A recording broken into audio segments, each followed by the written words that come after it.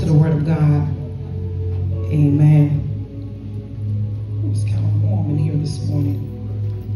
John, the fourth chapter, verses four. And it's a little different this morning, but we're going to trust the Lord that He's going to lead us. Amen. John, the fourth chapter, verses four. I'm going to skip down to verse seven. Then I'm going to skip down to verse nine through 10. Then 20 to 24. Amen. And it reads, and he must needs go through Samaria. And verse 7 says, There cometh a woman of Samaria to draw water. Jesus said unto her, Give me to drink. Verses 9 and 10 said, Then said the woman of Samaria unto him, How is it that thou, being a Jew, askest drink of me, which am a woman of Samaria? For the Jews have no dealing with the Samaritans. Jesus answered and said unto her, If thou knewest the gift of God, and who it is that said to thee, Give me to drink, thou wouldst have asked him, asked of him, and he would have given thee living water. Verse 20, verses 20 through 24, he says, Our fathers worship in this mountain, and ye say that in Jerusalem is the place where men ought to worship. Jesus said unto her, Woman, believe me, the hour cometh when ye shall neither in this mountain nor, your, nor yet in Jerusalem worship this the Father. Ye worship ye know, know not what. We know what we worship, for salvation is of the Jews. But the hour cometh, and now is when the true worshippers shall worship the Father in spirit and in truth. For the Father seeketh such to worship him. God is a spirit, and they that worship him must worship him in spirit and in truth. You may have your places. Amen. Amen. And I like to talk today about what happens when the church becomes inoperative. now, if you don't know what that means, of course, you know I like giving definitions. And the word inoperative means not working or taking effect, not being effective. So, what happens, hey God, what happens when the church becomes inoperative. Now, we don't read this story a lot of times. We've heard about it. The preacher, it's a very familiar passage. Uh, uh, we've heard the story about the, Jesus meeting the woman at the well. We know how Jesus asked for a drink, and the Samaritan woman wanted to point out to him how they didn't even have any dealings with each other. So she was worried, more worried about how we don't fool with you. We don't, we don't, you know, we don't get down like that. But Jesus, Jesus offered her, he tells her about the living water. It never caused him, it never, he didn't cease the opportunity to offer her life. Amen. So he seized the moment and the opportunity to offer her life. Now, I want you to understand that Jesus didn't have to go to through Samaritan. He didn't have to go through Samaria to get to where he was going, but he had a need. He had a must need, as my husband would say. My husband preached a sermon, I have a must, there's a must need. It was a must need that he go through Samaria. Amen. And there are some places that God wants us to go, but we don't want to take the must need. We don't want to go in different directions because we want everything comfortable. Amen. So for God knows, Jesus knew that he had a need to go through Samaritan. That's just like if I say, well, I need to go to Bay Springs and I live in Paulding. That there is no need for me to circle around in Heidelberg to go through law to come back up through Bay Springs. Amen. I, but there was a need for me to go through Heidelberg and go through law, and I can take my route and continue on to Bay Springs. Amen. There was a need for God to go through Samaritan. Amen. A lot of times, you know, we don't we don't understand. We always want things to come easy. We want the comfortable route. Amen. And when things get a little heavy, we want to um, renege. Amen. And we want to we tend to we tend to take we we tend to take back. We, we tend to step back. I'm, guilty of that. Amen. I, I, I want all that drama. And a lot of times we have to go through some things to be effective. Amen. And see, when the church becomes inoperative, it loses its effect. It's not taking effect anymore because you want everything comfortable,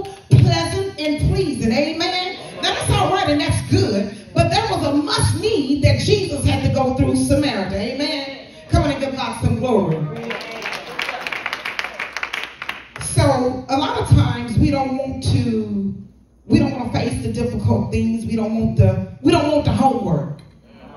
But there's a need.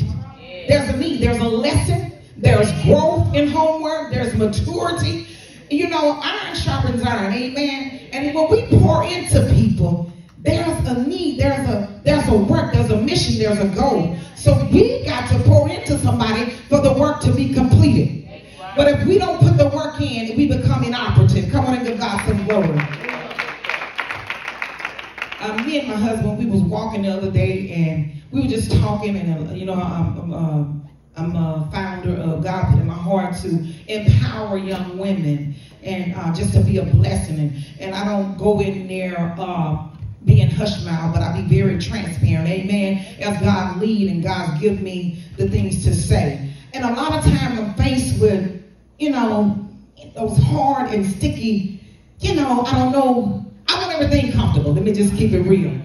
But there's a need for me to get all different types of women. There's a need for me to talk to all, and everything don't come easy. And a lot of times we want to we want to put off a, a bag up. And we got to do the work, but we don't want to do the work. And if you don't know what work means, work is activity involving mental or physical effort done in order to achieve a purpose or result.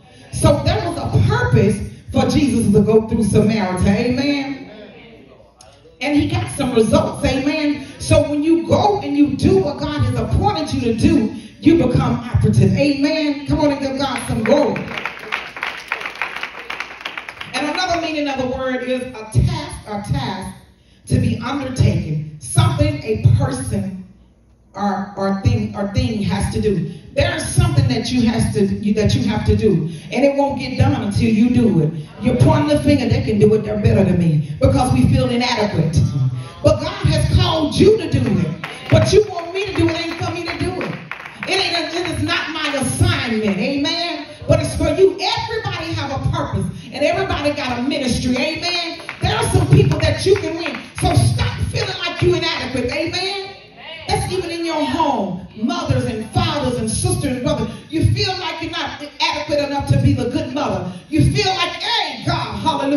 You feel like you're not adequate to be the good father. But you are designed. God created you.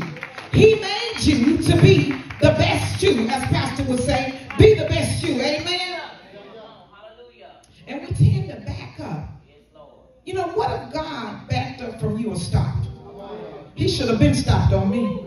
I, I told the Lord, I said, God, I'm so tired of telling you I'm sorry. God, Jesus. You know, a lot of people are waiting to get it right before I get right. You'll never get it right. I call myself right. I'm still crying out to the Lord. Lord, I'm messed up, God. It's not that you have obtained, but you are obtaining. You're pressing toward the mark of a higher calling. See, it goes beyond you. God's strength is made perfect in you. You are weak. I tell somebody I'm the weakest link. But God's strength is made perfect in me. Hey,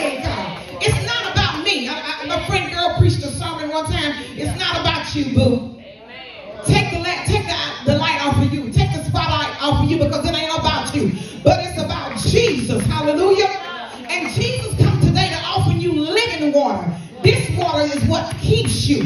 This water, you'll never get thirsty. Hallelujah. Because it always quenches the thirst. Amen. But you'll never understand it unless you're operating by the Spirit of God. Come on and give God some glory. It was necessary for Jesus to go through Samaritan. And I know you've heard it preached a different way many times, but God gave it to me like this. It was a must need for him to go through Samaritan. I don't want to go through Halliburton. I don't want to go through Law. I don't want to go through Harrisburg. But there is somebody that you have to meet on your way to glory. Hallelujah. And the work is not going to get done. It's going to get forfeit if you don't do it. And God will put somebody else in your place to do it, and you'll sit back and watch and watch somebody. You'll watch somebody else do what you're supposed to be doing. Yeah. Been there. Woo. That don't feel good. Sitting in the seat and you know you're supposed to be doing something. Hallelujah. Come on and give God some glory. But you ain't no me, me, me, and me, and you, you, you to do it. But God said, I want you to do it. I want you to be operative. Amen. And the only way that you're going to be operative if you, the hour cometh, and now is when the true worshipers shall worship the Father in spirit and in truth. But the Father seeks such to work in him. This is who God is looking for. God is seeking for some true worship of amen. It's not about you. It's not about what you do. But God is seeking some true, wholeheartedly worshipers. Amen.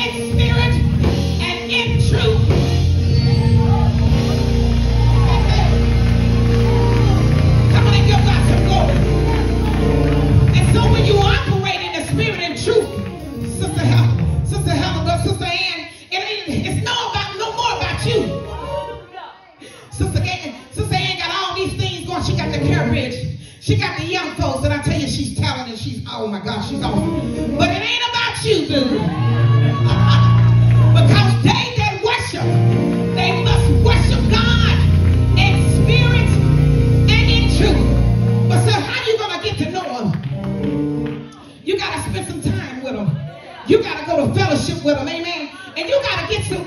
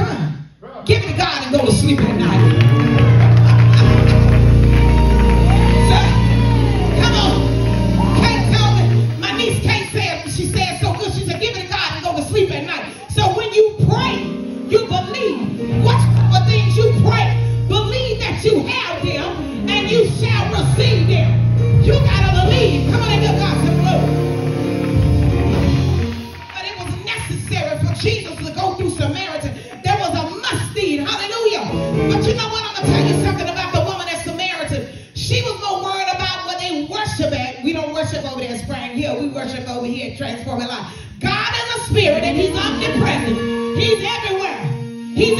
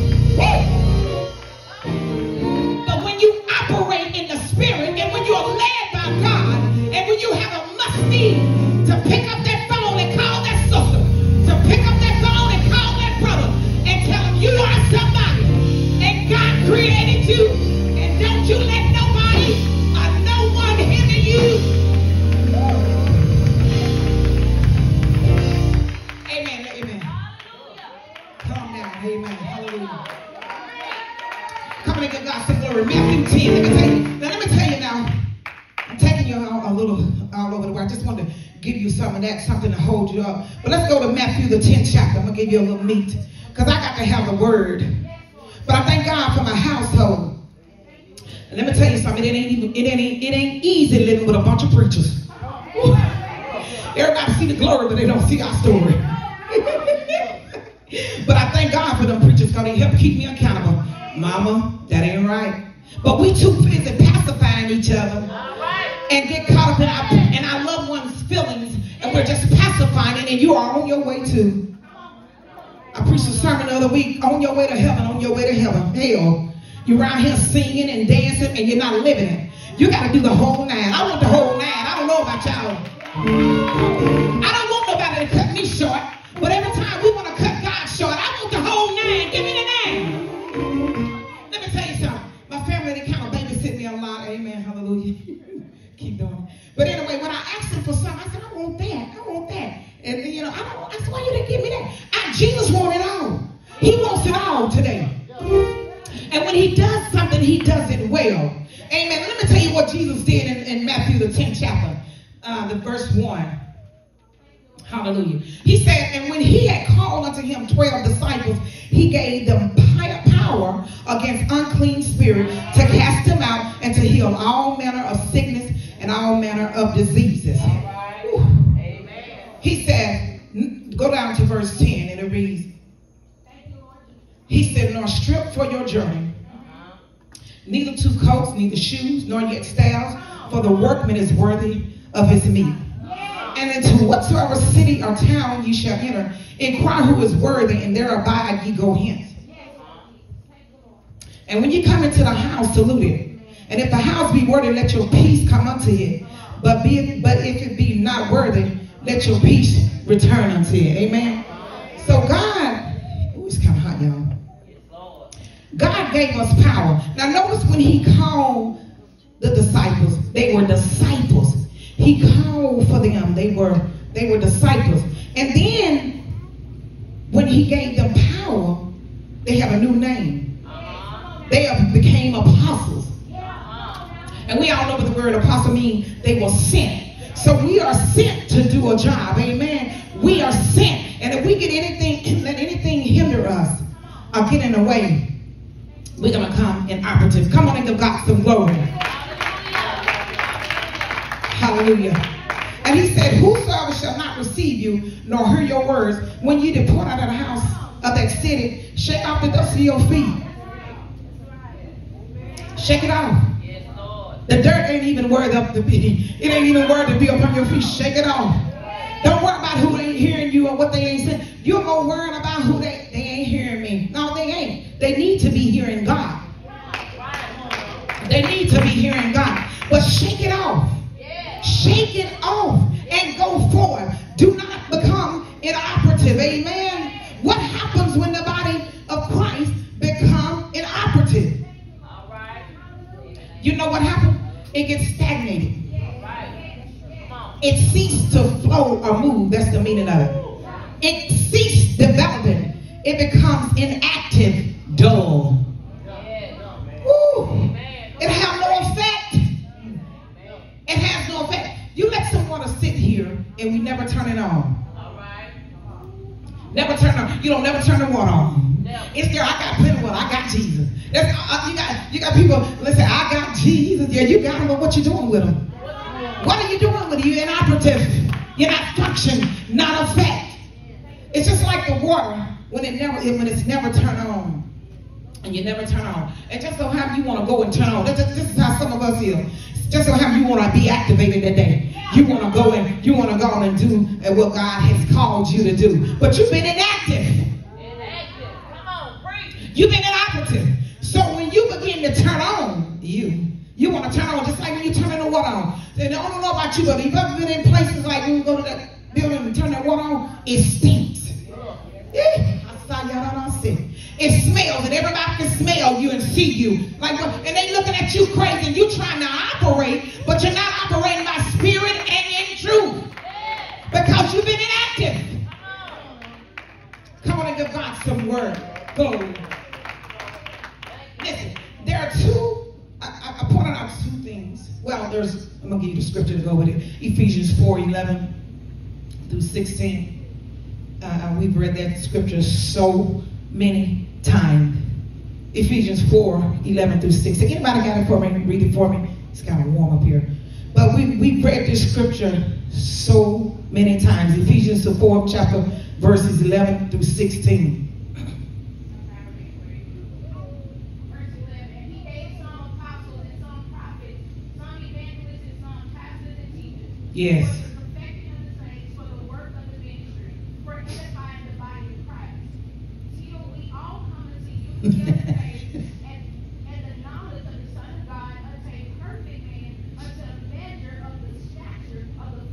Christ. Amen. Come on and give God some glory. Until we operate like God has ordained, I'm not afraid. You're vain. It's in vain. Amen. Because you've gotta be led by the Spirit. There's two things that I pointed out. You to operate to properly function in the body of Christ. You gotta have God's Spirit and His Word. Most important, you need Ephesians 4, 11 and 12, 4 through 16. Amen. What happens to the body when it's not adequately taken care of, it dies. Lakia was saying something about being in the green pastures. When you're in some good pasture, you know there's life there. You know something is growing. Amen. So what happens is in live. So when you're not operating in full function mode by God's Spirit, I'm not working in the unity as God has ordained, it dies. It becomes a ritual. We just we just used to doing this. We just used to doing this. It, it, it's called what is it? Systematic. You're just doing things, you know, you just you get used to doing, and it becomes non-effective. Who's growing? Who's growing? Who's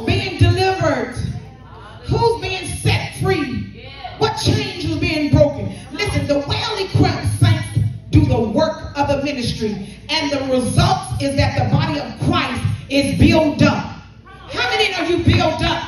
Who are you building up today? The body. The body. It says now time about Greta being built up. It says the body. I need everybody up in here. I need all of y'all. Y'all might not need me, but I need y'all. In some part of my life, even the things that you don't do right, I learned from it. I need you to see you. I need to see you so I can see me. You know what? I gotta, I gotta get right because I can I can I know better. The Bible says, so you think that you're something, you're nothing. So when you think you got it all together, God will begin to reveal some stuff to you. He'll begin to show you some things. So you he show you things so you can get in line. Well, don't you want personal chastisement?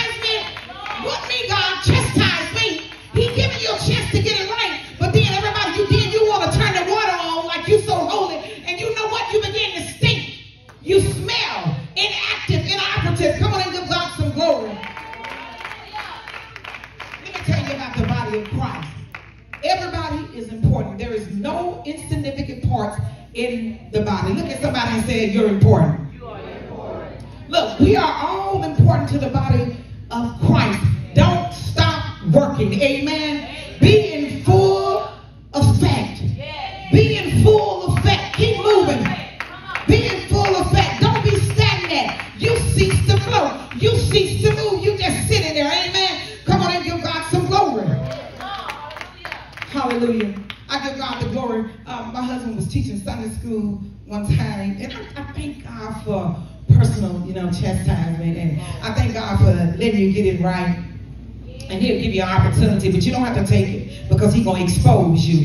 That's what God is doing now. He's exposing some things. Amen. And you looking all crazy and thinking you looking good, and God is saying you, oh my God. we was at church and he was teaching Sunday school, and we get caught up in our jobs or even what we do for the church sometimes. Think about it. Just think about it. Just think about it. Go with me a little bit. And sometimes you're doing this and you're doing this, and it becomes about you. Sometimes out of ignorancy because you're in your flesh, you know. And sometimes, you know, you want the light on. Is the light on? Where that big light is? no, no, no, put it on. But you want the light on you so everybody can see you. Be careful what you ask for because you just might get it. Because anything that goes on is going to show up. Amen. The stain going to show up and everybody going to really see who you are. And he was teaching and he was talking about how uh, the man was just caught up in what he was doing, what he was doing. And God told him, you sit down somewhere. God allowed him to suffer. Amen. God allowed to, to set him down. Amen. He set him down to see. And I told my husband in the middle of Sunday school, and it's so funny, we don't have to have a church full of folks to have church. And he it wasn't, I was a student and he was a teacher. And so he was teaching, and in the middle of him teaching, I said, I said, hey, hey. I said, I ain't doing nothing. Hey, God.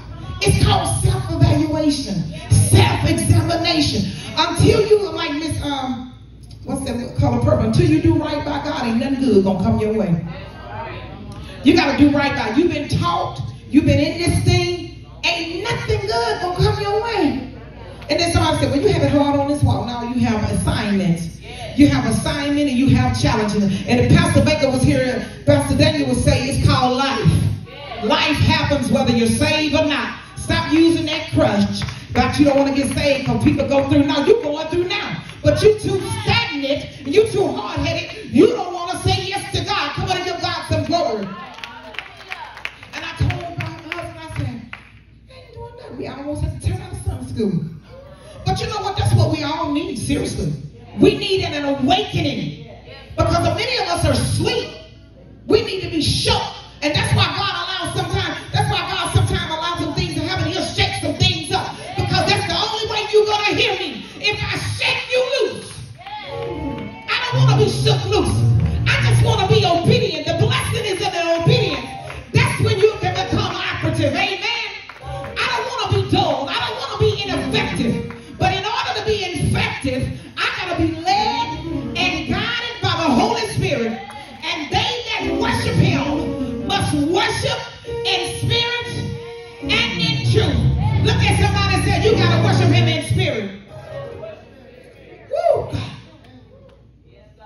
You got to worship him in spirit and in truth because the truth going to make you free.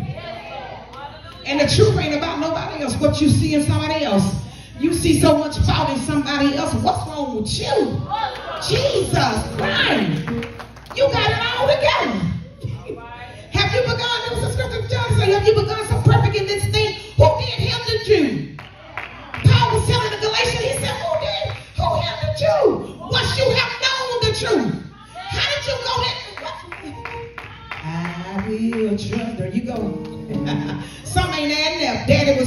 boy, go back.